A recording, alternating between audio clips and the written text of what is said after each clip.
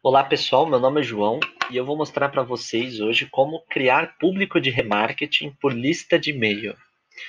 Na tela inicial do Google Ads, nós vamos aqui em Ferramentas, na coluna Biblioteca Compartilhada, Gerenciador de Públicos-Alvo.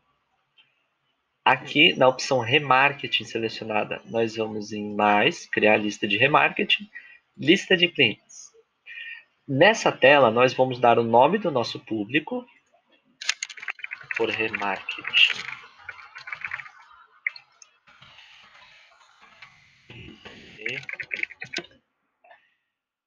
Fazer upload de dados de texto simples. Selecionamos essa opção e selecionamos o arquivo das planilhas de Excel que nós vamos utilizar no nosso público de lista de e-mail.